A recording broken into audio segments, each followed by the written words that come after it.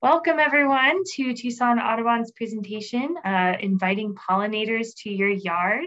I'm very excited to introduce our speaker for today, uh, Kim Matsushino, who is our Habitat at Home coordinator. She's been with Tucson Audubon since 2015. She's very knowledgeable on all things uh, inviting of native um, animal species to your yard, birds included. So uh, we're excited to have her talk today about pollinators. This is part of our recipe card series. Um, we have uh, a whole line of recipe cards that talks about inviting different species or groups of species to your yard. So this is the latest in our series talking about pollinators specifically. If you're interested in those other recipe cards, um, we have already done a talk on a few of them, including Lucy's warblers, uh, and those are available on our YouTube page. Uh, this recording will also be uploaded to our YouTube page um, after we, we're finished the event, so you can find all of those in one place. So I'll go ahead and I'll turn it over to Kim, and she's going to talk to us about pollinators. Thanks so much for being here, and thanks, Kim, for talking to us. Yeah, of course. Thank you. Um, welcome, everybody. Let me just get my screen up really quick.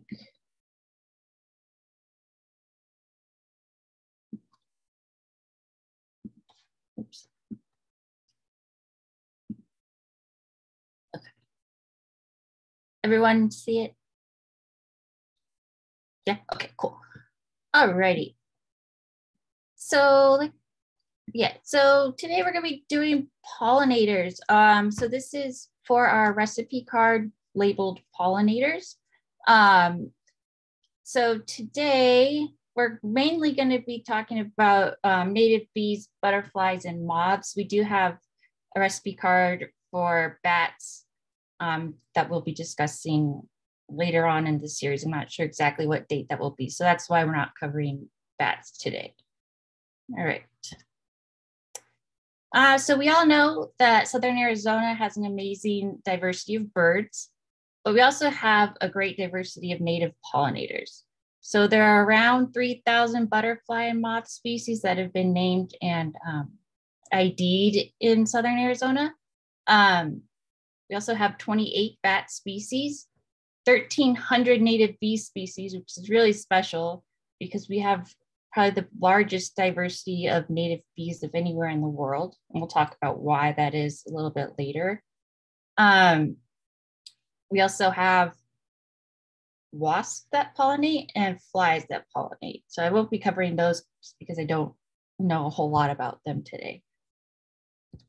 So this is our pollinator recipe card. Um, so we'll explain why your yard is a good place for pollinators, and we'll introduce you to a few species of the many, very many native bees, butterflies, and moths, and then we'll go over how to create habitat in your backyard for pollinators. Oops. All right, so native bees. So this photo is by Stephen Buchmann, um, and it illustrates the huge diversity within native bees. Um, the diversity is not only in size, but color, feeding strategies, nesting, and social behaviors. So the big bee is a female carpenter bee. She's the largest native bee um, and a generalist feeder, meaning that she will pretty much feed on any species of plant, any family of plants. Um, so very in depth with the capabilities of, of, getting nectar and pollen from a lot of flowers.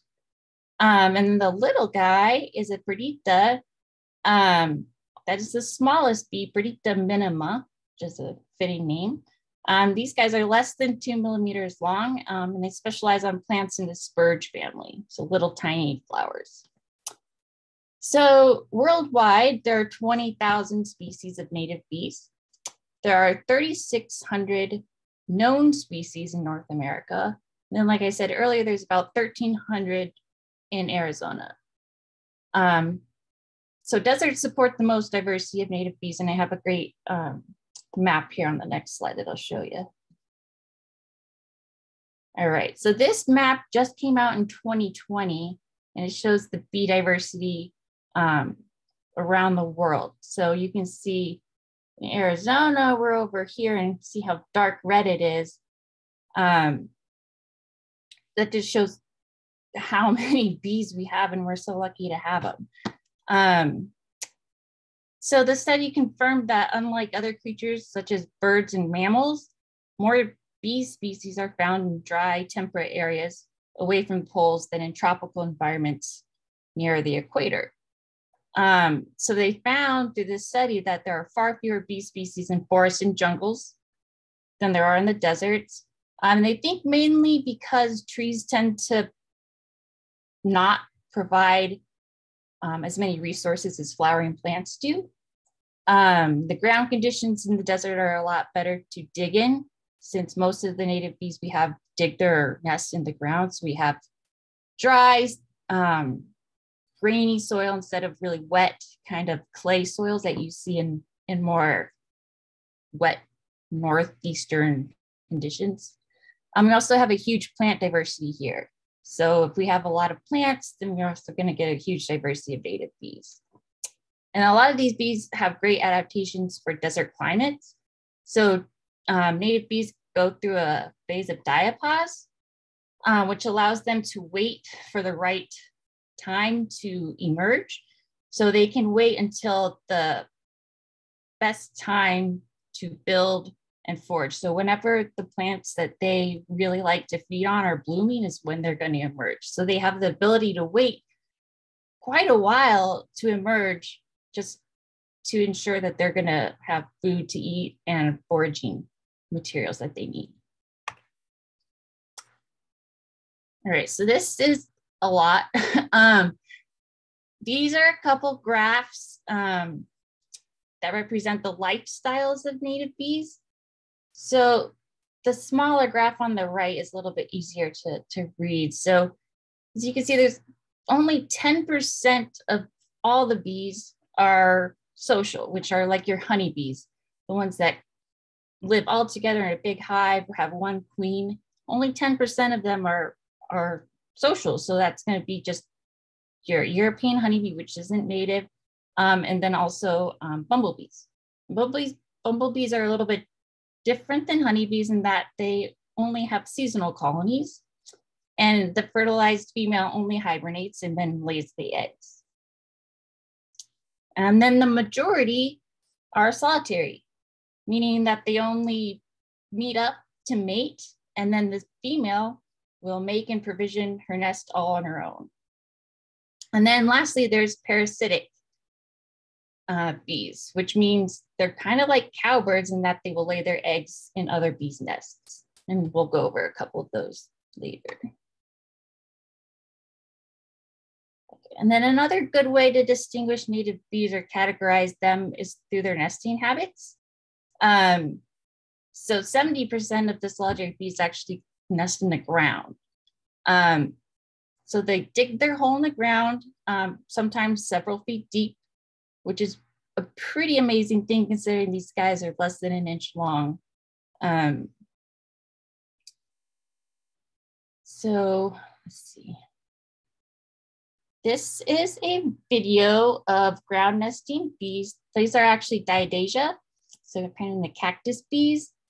Um, so you can see this video. She just makes these incredible nests and this single female just builds this nest like all by herself. And then on top of that, she makes these great chimneys um, out of saliva, mud, and they've actually found pollen in these little tunnels as well. So this is just a video um, of some of these bees. Just, it just, I thought it was a great video. So it's only a 30 seconds, but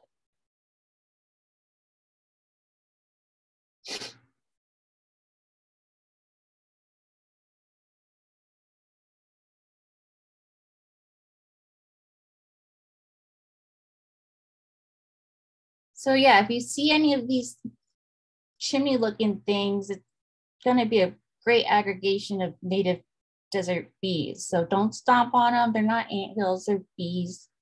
Um, and then this photo here kind of shows a tunnel. So this particular bee species, so they will shape like some, uh, there's, there's so many different types. So these types of ground nesting bees, um, single females will share the same entrance. However, they will make offshoots for themselves. So they're never going to share a, like a little tube, offshoot tube with another female. It's going to be female one, female two, female three, and so on. And she will lay her eggs simultaneously from the back to the front. Um, and then she provisions each cell with pollen and nectar that she's foraged for, which allows the baby bees to eat those little cell dividers on their way out before they emerge. So have a better picture of it later. So those are ground nesting bees. Then the other major type of nesting um, for native bees are cavity nesters. So these are the ones that are going to be nesting in like wooden blocks or dry pithy stems. Uh, I've also seen them in dry yucca stalks or sotol stalks. Um, yeah, and so they'll they'll go ahead and, and clear out the pithy insides of these stems.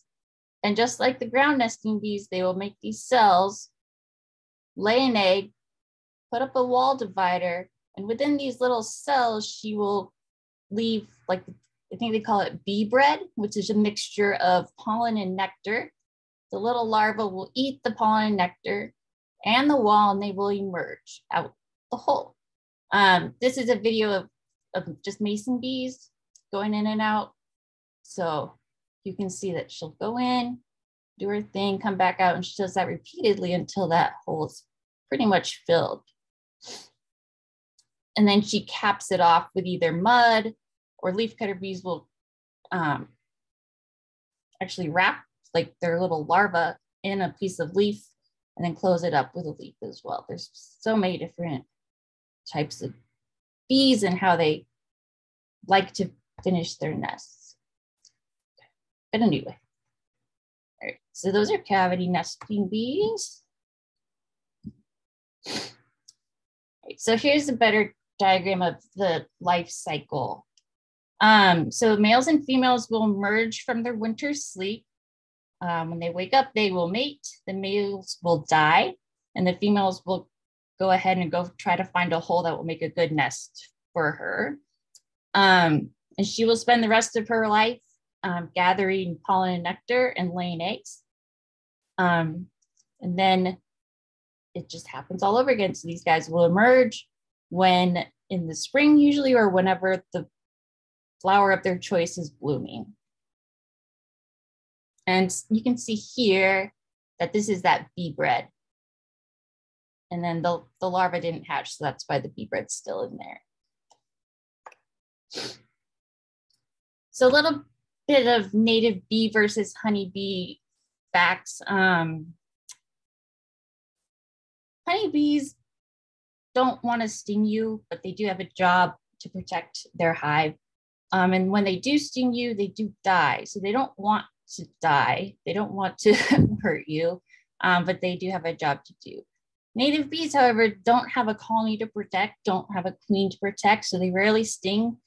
Um, and some of the papers that I've read say that the, the stingers that they do have are so tiny that it's really won't penetrate penetrate your skin that much. And they don't want to hurt you either. So since they have nothing to really protect and they're just on their own, they just mind their own business and are the great, they're just great pollinators to have in your backyard just because there's no threat really at all.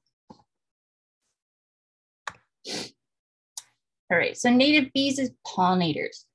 Um, as pollinators, they're fantastic because they collect both pollen and, and nectar to make their nests. Um, they are specialist feeders sometimes, or generalist feeders. So sometimes certain bee species will only pollinate certain families of flowers. Um, but most of them are generalists, meaning that they will forage on a variety of plants. Um, they're also great pollinators because they tend to forage for longer periods of time and more frequently than honeybees. They've also co-evolved with native plants, so they know exactly when these plants bloom and how best to access the pollen. Um, some of them also have the ability to buzz pollinate, which where they like vibrate their abdomen so hard that the pollen kind of just shoots out and just collects on them, like you see in these photos.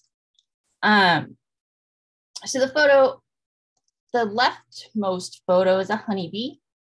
Um, you can see that it's a little less hairy than the native bees on the right.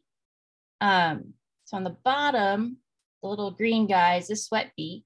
You can see that his pollen baskets on his hind legs are completely full, but it's also carrying a bunch of pollen all over its body because they're just so hairy, it just sticks to them, which is great for pollination. Um, and then the mason bee up top, you can just see how much pollen she has all over her body. It's just so cute. All right. Uh, so these are, I picked just a few bee species to go over that you are most likely to see in your backyard. Um, so these are leafcutter and mason bees. They're in the family of Megachilidae. Um, the female leafcutter bees here on the bottom um, use leaves um, to partition their cells and close off their nests. Most of these species live above ground in wood or hollow twigs, but there are a few that will nest in the ground. And instead of carrying pollen on their hind legs, these guys carry pollen on their abdomens. So a good way to ID these, these bees is to look for yellow patches on their bellies. So they have a the head that's as big as their thorax. Um, they have big mandibles or teeth. So especially the leaf cutter bees, just because they have to cut those those leaves in perfect circles. So that's why they have bigger mandibles. Um, they're usually metallic green, um, about seven to 20 millimeters. So it's a big difference because there's so many different species within these families, but um, they're all gonna be solitary. Uh, what else? Let's see. and this is the biggest family, like 10% of the native bees that we have are leafcutter mason bees. And they're generalists, so they're going to feed on most, most anything. All right, these are sweat bees. These are the most beautiful bees that I've seen. Um, they are a huge, diverse family.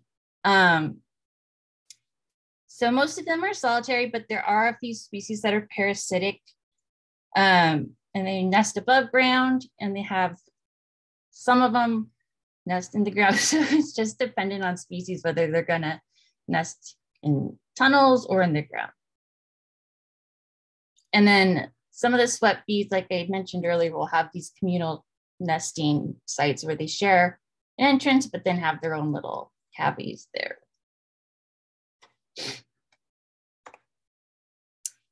Right, so these are mining bees. Oops, did it go? Mining bees. Um, yeah, so these are black or dull metallic. Um, they usually have like reddish hairs on them and elongated scopa.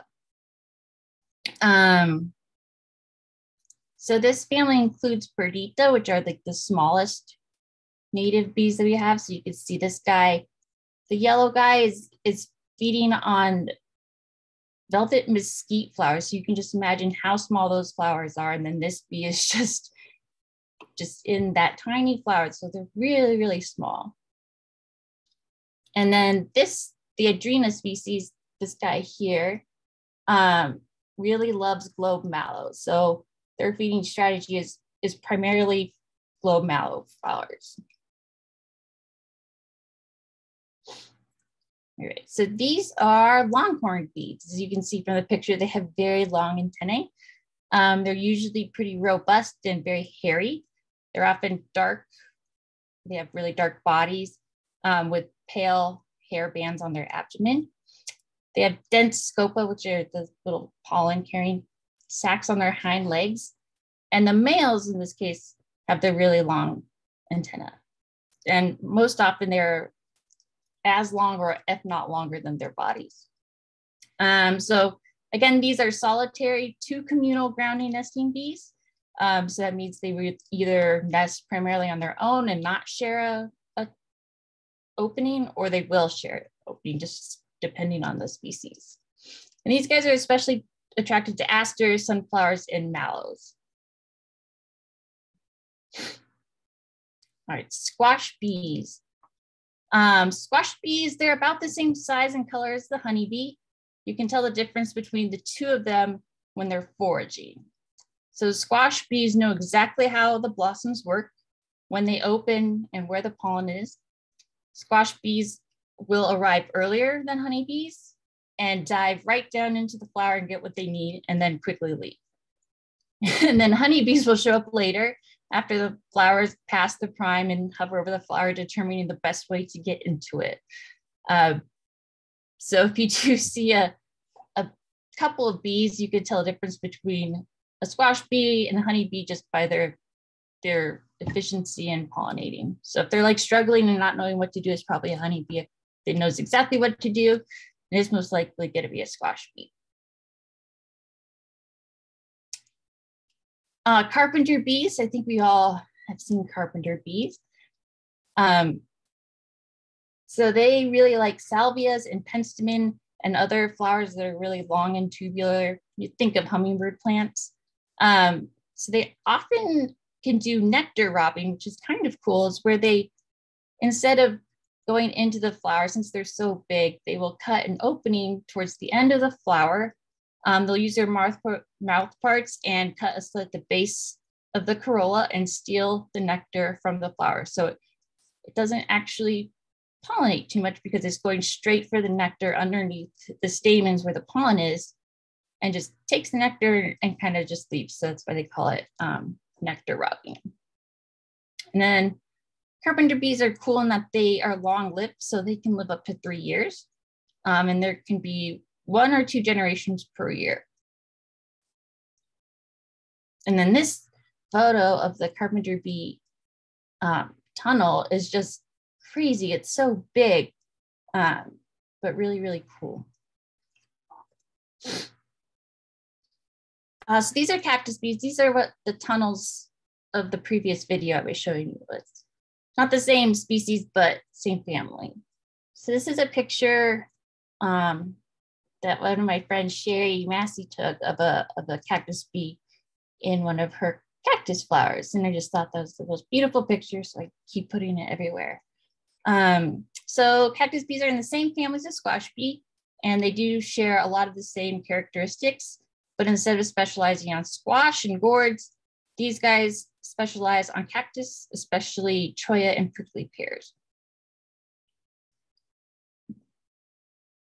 All right, cuckoo bees. So these are the parasitic bees. Um, the cuckoo bees make up one large group within the Apidae family that are exclusively parasitic. Um, so cuckoo bees are usually red or yellow. Sometimes they have white markings on them. And then through time, they have lost all their pollen carrying adaptations as they don't need to collect pollen to feed their young because they are I mean, putting their kids onto someone else so they don't need to make any nests. Um, you can find them flying around in the early spring over bare ground where they are searching for potential host nests. Um, and they usually go to nests that are in the mining bee family. Um, so the female will wait for the resident female to leave the nest and then will go into that nest and lay her eggs and then sneak out before she comes back. Um, some species will go the extra step in killing the resident larva, while others don't. Um, so it just depends on the species. And then, um, so when they do lay the eggs, the, the cuckoo bee's larvae grow faster and larger than their host larvae. So they will eat not only the larva, but also the provisions that their mom has, has made for them. So it's sad, but kind of cool as well. Okay, so those are a tiny, tiny bit of, of native bees. Now we're going to talk a little bit about butterflies and moths that you can commonly see in your backyards. Um, so butterflies and moths as pollinators, why they're important? Uh, because butterflies and moths have the ability to travel far distances they um, improve gene flow between plant populations. Um, a lot of them are also specialist pollinators, especially the moths, um, and they do, do, do a lot in nocturnal pollination. Um, so butterfly and moth life cycle. So adults will lay the eggs on their host plant and host plants, is, as a lot of you know, can be very specific to certain species. And there are a lot of butterfly and moth species that are generalists in what they, they lay their eggs on. So after the eggs are laid, the eggs hatch into caterpillars. Um, and then the caterpillars will eat their host plant and grow up to be very big. And then the caterpillars become pupae and form a chrysalis or a cocoon for moths. And then after all that, they um, emerge as adults and then mate and go eat. uh, giant swallowtail. So this is the first one. This is the largest butterfly in the United States, um, about four inches long.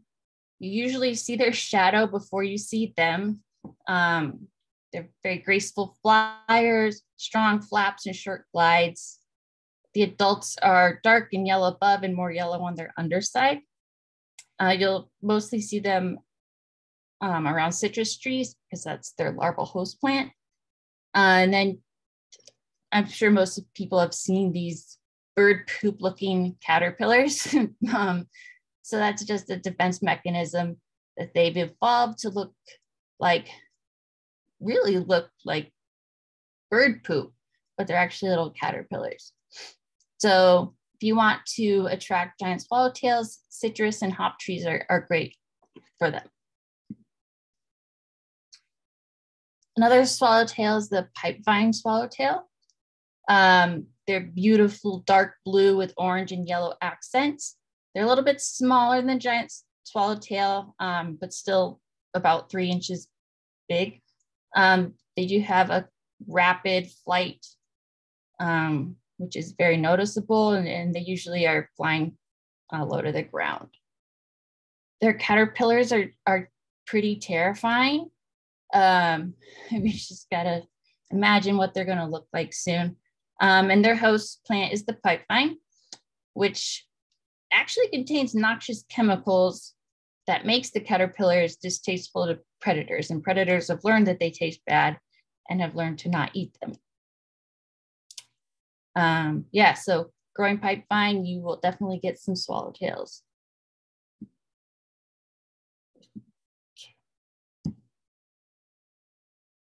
Uh, Gulf fritillaries, uh, this is one of my favorites. Um, these are pretty common to the southern regions um, and are easily attracted by a passion vine. Um, I have one passion vine in my yard. I've had it for probably three years. I've never seen it bloom because every every year it gets demolished multiple times by Gulf fritillaries.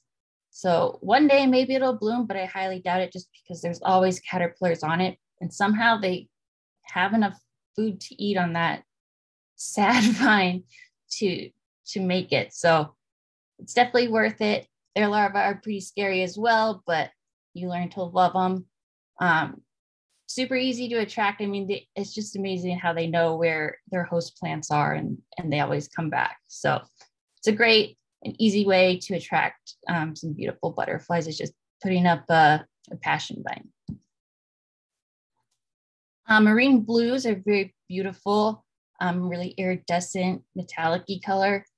Um, their, their flight is very fast and erratic, so they have to wait until a good time to when they kind of settle down to see how beautiful they are. Um, to attract them, their host plants are legumes. So velvet mesquite's a great, great tree, as well as fragrant bee bush, Aloysia gratissima, um, as their as their host plants. And they have tiny little, very inconspicuous caterpillars. All right, so this is the queen, queen butterfly, um, same family as the monarch and commonly mistaken for monarchs. I've done that a lot. Um, but they are common in Tucson year round, um, found really in any open habitat. Um, the best way to, to distinguish a queen from a monarch is for me in their larval phase, just because even though the caterpillars do look just like the monarchs, you can tell that it's a queen if they have three sets of antenna. So monarchs are only going to have two sets, but the queens have this third set here in the middle. So that's the best way to do it. And then when they're adults, um, the veining patterns. Um, so unlike monarchs, queens don't have those thick black veins and the between like their bright orange. Um, and the queens have white spots that spread onto the forewing, whereas the monarchs don't. And their larval host plant, like monarchs, is, is milkweed. Oh, I don't know what this is. Oh, this is a video I took at Desert Meadows Garden, in Green Valley. Just a ton of queens all over this desert willow. It was, it was amazing. Uh, oh boy. Okay, here we go. Okay. Uh, so monarch. So yeah. I thought I, okay, never mind. Um, so uh, these two pictures on the left show the difference between a male and a female. So if you've ever wanted to know random facts about monarchs, here's one. Uh, males have these dots on their back wings. So these yeah, these two spots. So if you see a monarch that has two spots, it's going to be a male. The females don't have those. Um, yeah, so there's been a lot of research done with the the Western monarch population.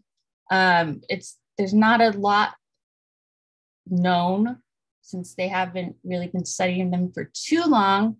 Um, but they have caught the eye of researchers in the past 20 years. So there's so there's some good conservation going on. But um, monarchs, you can find them here in the low desert um, from September to October is their peak migration. Um, May to June, they'll leave to the higher elevations where they continue to breed. Then August, August through September, they'll move back to the lower desert to lay their eggs. Um, then those offspring will join the main migration um, to California. Um, uh, this a study came out a couple years ago, specifically for what was the best milkweed for Western monarchs. And what they came out with is what they what they found was that Arizona milkweed, um, Asclepias angustifolia, was the best milkweed for caterpillars in that was more commonly visited and laid eggs upon by the females. Um, the caterpillars had a higher survival rate, um, and the adults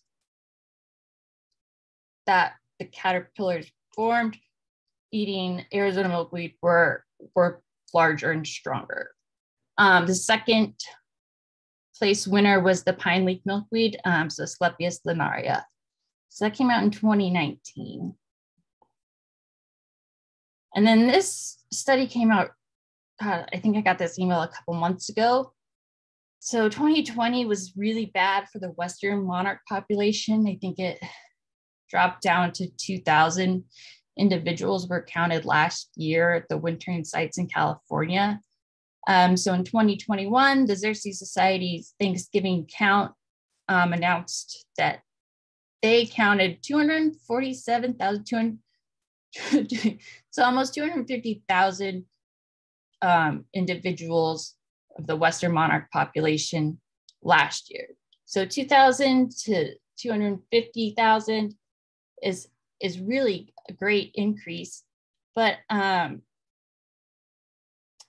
it's it's hard to tell if it is a recovery or a trend or a blip um, so there's no definitive answers as to why this big population spike has happened yet.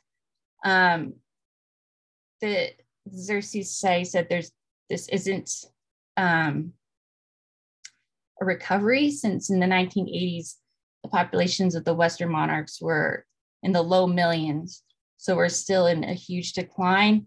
Um, so I'm interested to see what they come up with as to why there's this really big spike in population. So I'll keep you updated from when I hear why this happened. But it's great. really great to see those numbers go up. All right, so some moths. I'm sure a lot of you have seen these in your yards this past spring and summer. I sure have. Um, so this guy, um, the rustic sphinx. So I have had this demolish a few of my plants, but they've all survived and come back, which is nice.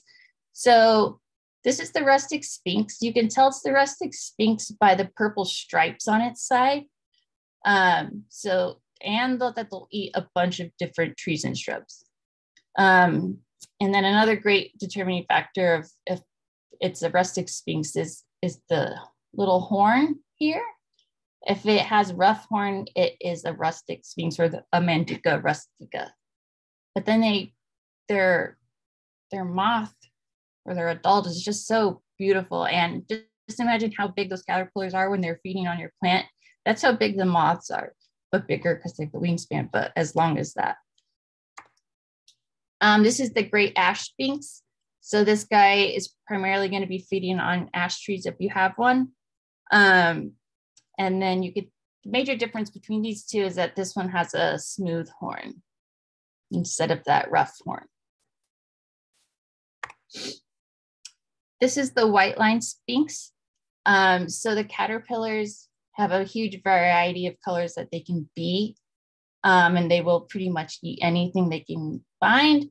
But then these moths, they're just beautiful. A lot of people mistake them for hummingbirds because they're so big and so bright. Um, but it's a it's a moth, so it's all worth it in the end when your plants are a little little broken down. I mean, you get these beautiful nocturnal pollinators that are just wonderful. Um, and these two are the tomato hornworm on the top and the, the tobacco hornworm on the bottom. So tomato hornworms, um, their hosts are obviously tomato.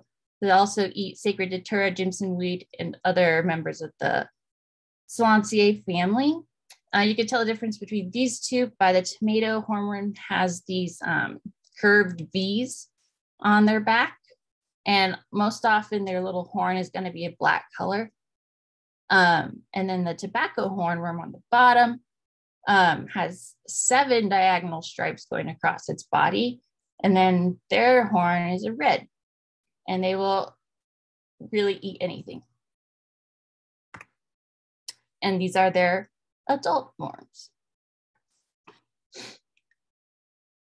Oh.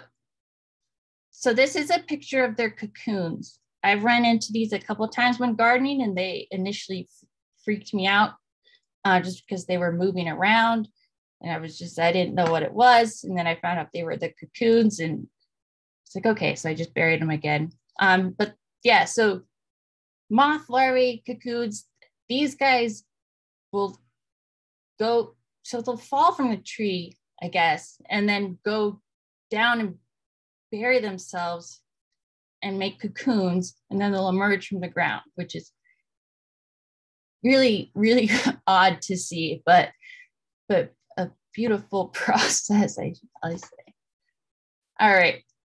So that's my introduction to some of our bees, bats, not bees, not bats, sorry, bees, butterflies, and moths.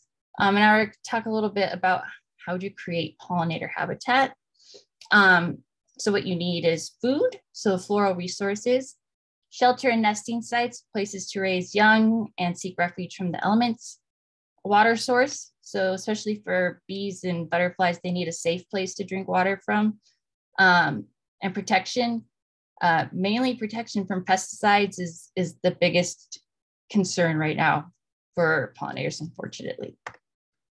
So food, floral resources. So when planting for native pollinators, you want to provide continuous blooms throughout the year. Uh, you want to always plant native and you want to plant diverse. So continuous blooms. So it's also called bloom time um, succession. Uh, the best way to go about this is um, a strategy that I learned from Karen Campbell, uh, which was just genius. She just opens an Excel spreadsheet, takes an inventory of what she has in her yard, when it blooms and the color that it's blooming. And so this is just an example. So if I had a wolfberry and I noticed that it was blooming in January and stopped blooming in April, I would fill in those boxes. Um, and then you can see once you do your whole inventory of your yard where there's gaps in your yard. And so where there's gaps, you want to find a plant that's going to fill in those gaps. So you are providing the resources that early emerging native bees need or late emerging bees need. Um, yeah. So, and then you can make these little boxes different colors depending on their bloom colors. And so that'll give you a more aesthetic look to what you are missing in your yard. So if you notice that you have a lot of purple flowers, like, oh, maybe I'll look for something red or yellow. Uh, so this is a, a, a really cool way to kind of inventory your yard and also just to kind of take notice of your yard and see what's going on. Um, to find like when plants are blooming, um, SeiNet, so it's S-E-I-N-E-T, is a great uh, resource for all the native plants in Arizona. Um, yeah, so that's just a good website for for accurate bloom times and um, descriptions of native plants. Uh, so second, you want to plant native plants. So why plant native? Uh, plant native because native pollinators and native plants have evolved to benefit each other. Um, and they're climate resilient. So they're adapted to our weather. They are adapted to the extreme heat. They're adapted to the drought. And you'll not be spending buckets of money on irrigation and fertilizers. Uh, lastly, you want to plant diversity. So plant diversity equals pollinator diversity. Um, a few ways to plant diversity is through structural diversity. So picture on the left is more of a, a larger landscape um, structural diversity. So you have your understory, your smaller grasses, your verbenas. Um, then you have your midstory, which are your, your bushes, um, anything less than five feet, but bigger than two feet. Uh, and then you have your upper story or canopy. So this is like a larger, more ecosystem type based structural diversity. But then on the right, you have one that you can easily put into your yard, but you still have that structural diversity, but you're just using, instead of trees, you're going to have like bushes be your, your top tier and then go down to grasses and, and ground cover. And then you always want to plant in clumps. So we recommend doing three individuals of one species per like three feet or a meter. Um, that way, these large blotches of color attract over overhead pollinators and birds so they can see it. It's like an open sign for them. So you just want a big splash of color of one species um, and then just continue those splashes so you have a diversity of, of plants. Like this is a great photo representation of, of planting in clumps from desert meadows. So you have beautiful like dark blue, orange poppies, and then you have great um, in the background. Want to say no to gravel and lawns. Uh, this is a one of my favorite habitat at home moments when a woman sent me her before and after pictures of her yard. Um, so clearly she replaced all the gravel, um, which provides little to no habitat whatsoever, um, and replaced it with just an awesome amount of native vegetation and native wildflowers. Um, yeah, and it reduces your heat island effect. Um, and it's just, just beautiful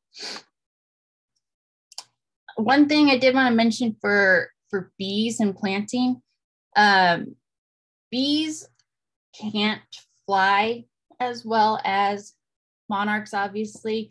Um, so if you do plant for bees, you just need to consider the forage distance between where they're nesting and where they are foraging. Um, so yeah, they're not able to travel too far between those two sites. So let's see.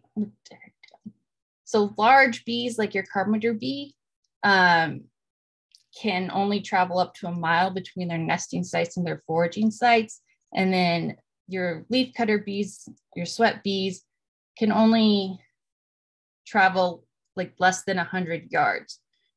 So it's important to have their nesting sites be close to your, your foraging sites. So I have a picture here. All right, so this is just like a simple garden design I kind of came up with. Um, so in the middle, you have your nesting structure for the native bees, whether it be ground nesting bees, which you just kind of clear off a space of bare dirt. Doesn't need to be large, even a foot by a foot is, is great for native bees to nest in. Um, and then you have your flowers pretty close by, and you just continue to have your nesting structures throughout here. Um, but even in a, a, yard that most people have in Tucson, the size of it, you're not going to have any problems of having too big of a foraging distance for them. This is a garden design for butterflies. Um, so it's pretty similar to the native bee. Um, the only thing you're going to do need to do differently is add larval host plants, which I'll talk about in a second. Um, and then when you are doing, especially for monarchs, if you really want to attract monarchs or queens, it's really important to have more than one milkweed plant. So just having one milkweed plant is probably not going to cut it, or it's definitely not going to cut it. So you want to put in at least three, um, pretty close together. I think less than a foot, just because when a monarch is done demolishing one of those milkweed plants, it needs to safely get to the next one to continue feeding. So if they're too far apart, that gives it a long distance to be crawling around out in the open. So you want to put them pretty close together so that they can easily go from plant to plant um, safely. Okay. So these are some of the plants that we have on our recipe card that are just like super for, for native bees and butterflies. So Gregg's Mist Flower, um, it's a great ground cover. Um, it spreads really easily by root. Um, it attracts a ton of queens in the fall and, and monarchs if you get them. Um, but it's just at the Y in the garden, it is just filled with queens every year. It's amazing. Um, then Goodings Verbena on the right is an awesome native. Um, it's a great replacement for Lantana. Uh, looks pretty much the same, but it's native. Um, it, it, can bloom year round. Um, pretty cold tolerant too. A lot of the lantanas died back during the winter, but um, my Goodings verbena is doing great still. Um, and then these two look really great with marigolds or like a yellow flower, so desert marigolds um, or penstemon with some pink.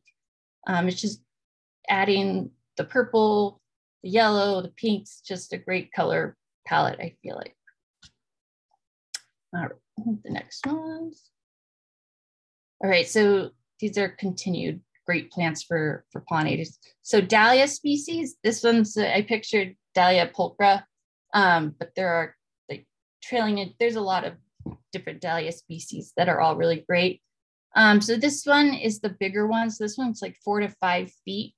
Um, it's an evergreen with beautiful silver green leaves and these beautiful lavender um, flowers. And it has a pretty good really long um, blooming time from February to May. And at the Mason Center, we have a really great one that's always covered in bees, uh, just beautiful. Um, and then flat top buckwheat is awesome. So this can get pretty big if you have like an awesome open space that you need to fill. Flat top buckwheat is, is a great option with just beautiful white flowers, white pink flowers. Um, yeah, beautiful. Um,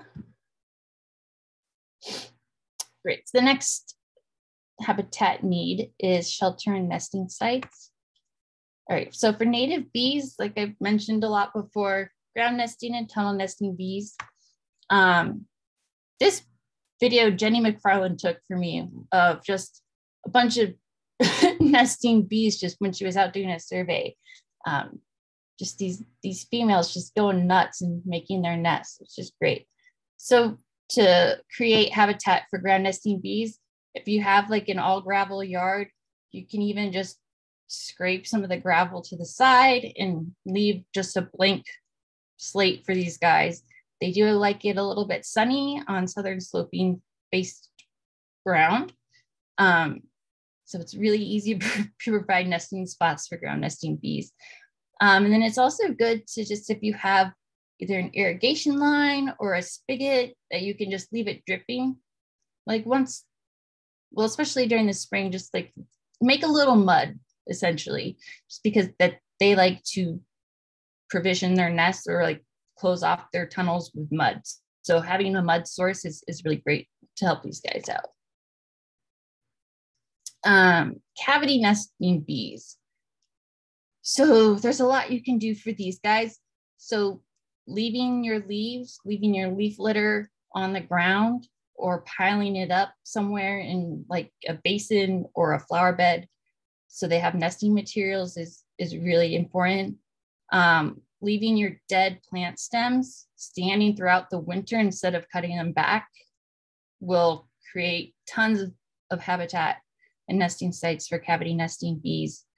Um, if you don't have pithy stems that die back every year, or, or you have an HOA that just makes you have a pristine house or yard, you can also create native bee hotels really easily. Um, I make some that are just out of a four by four with different diameter holes drilled into them. Um, and people have had a lot of success with them. Um, do get a lot of questions about cleaning out native bee hotels. Um, and I have talked to and done some research on the necessity here in Southern Arizona. And what I've found is that because our humidity is so low, we don't have things growing inside of them. And because they're pretty small, you're not going to be getting those, those parasites that, that the Eastern ones are getting. So from what I've heard from from local people is that we don't need to clean them out, um, but we should probably like throw them away or do clean them out every five years. But if you're making stuff just like the ones pictured here that are just a four by four, it's easy just to make sure there's nothing in them and just throw them out and start over just to ensure that they're they're clean. But we've had some up for a long time at the Y and they are still being actively used and we've never never ever replaced them. All right. Oh, okay. All right, so shelter and nesting sites for butterflies. Most importantly, if you want to have butterflies, you need to have larval host plants. And as you noticed earlier, there's are a ton of different host plants. So I would do research on, hey, what kind of butterflies do I want to have in my yard? Oh, okay. I want this one. So I'm going to look up what its host plant is and then plant it. So just learn and plant for what you want. And then it is important to have resting places for um, butterflies. And this is, they just rest on like shrubs, large shrubs and trees, somewhere that they could just hang on and just relax for a moment, that it's away from the wind. Um, just shelter, shelter in forms of vegetation, like dense vegetation is, is perfect for them. They also need overwintering sites. And again, they love to lay eggs in leaf litter. So what I do is like I have an ash tree in the backyard. I just rake it all up and then stuff it into my garden beds or where my native plants are. So my HOA won't yell at me um, and just leave it there. It's a great mulch and yeah, provides uh, overwintering sites for, for moth and butterfly pupa. All right, so the third is water. Um, so for native bees, it's really important to have structures in which they can stand on. Um, so placing a few flat stones in a shallow plate or like a plant saucer is a great way to provide little islands for them to land on. Um, just yeah, make sure they're not submerged fully, but they do have a they, they do have a place to land safely and dryly.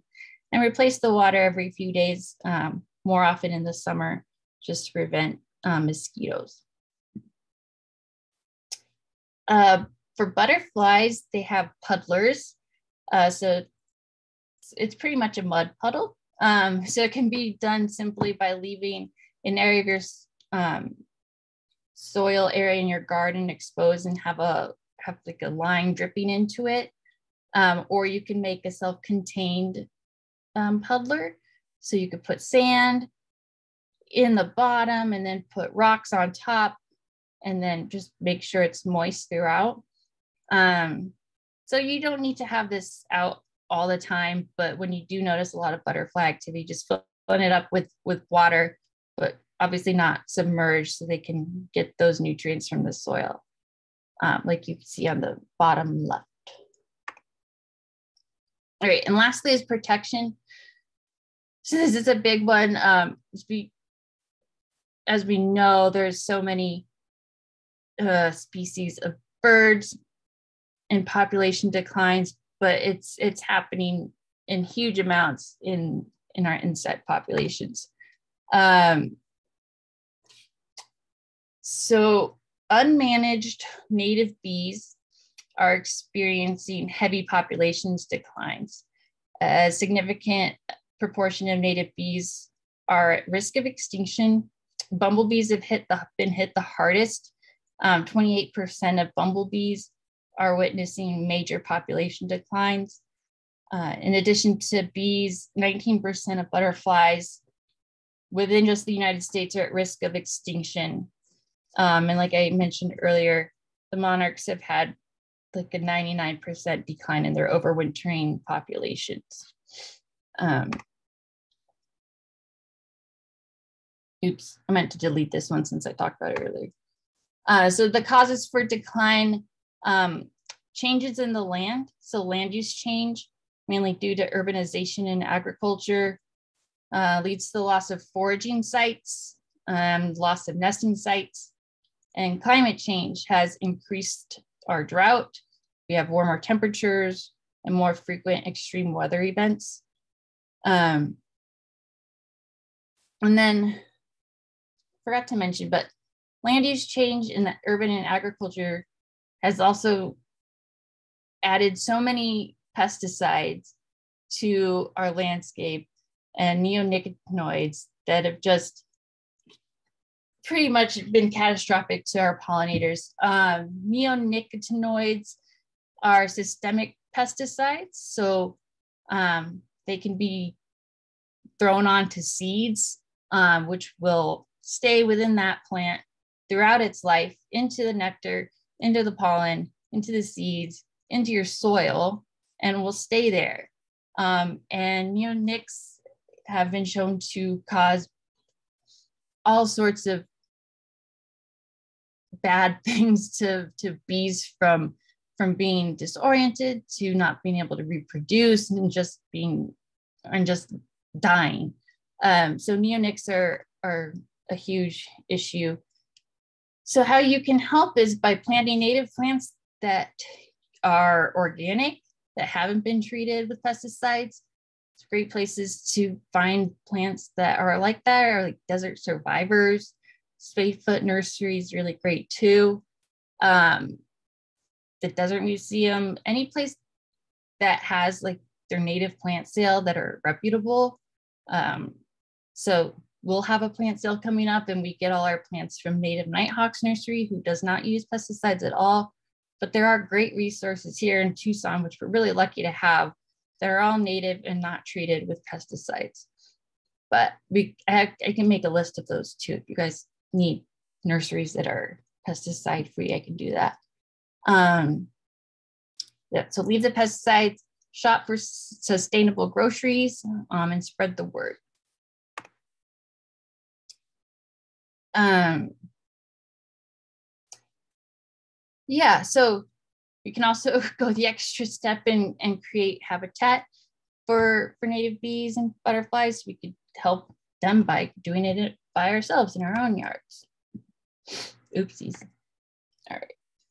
So this is precisely why the Habitat at Home program um, came up with this a la carte menu was to provide habitat not just for birds, um, but for pollinators as well. So the Habitat a la carte menu allows homeowners to provide habitat for monarchs, caterpillars, bees, moths, bats, lizards, and, and it also includes um, initiatives that um, add to that safety of, of habitat.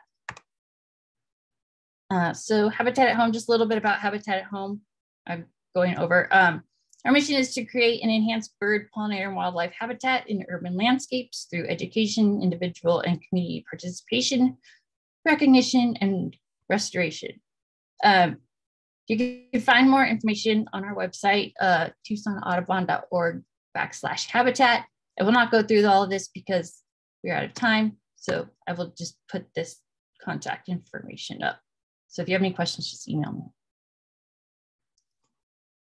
Awesome. Thank you so much, Kim. That was uh, so informative, so helpful. Um, I learned a ton and it makes me want to go out and buy a bunch of plants right now, even though um, my patio is all paved. So it's hard to put patio, too many plants on there. patio gardens make great habitats. I like well, living in an as apartment. As soon as we have our plant sale this year, I'll uh, I'll add a few. I know. Things. Still waiting for the word on that one. Um, so we don't have a ton of time for questions. Um, I just want to say that I put the Habitat at Home link in the chat um, for anyone who's interested. Um, also, we did have a, a, request for you to throw in the link for that native plant website that you mentioned a few slides. Oh, SEINet? Yeah, yeah, absolutely. that would Let be me, awesome. Yeah, I'll just add that really quick.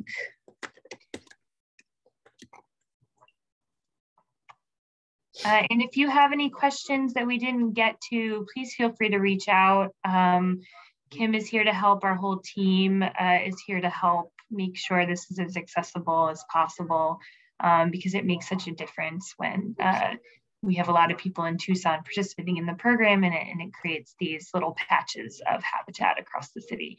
Uh, so it's really important. So we want to thank you very much for taking out uh, the last hour of your day to join us here today. And a huge, huge thank you to Kim for sharing all of her knowledge. Um, please be in touch. Uh, I'll send out an email um, today or tomorrow with the recording. Uh, I'll also include um, these great resources that Kim is sharing um, so that you can have links directly to those. Uh, so uh, thank you so much. Um, and I hope that you have a good rest of your day. Thank you, everyone.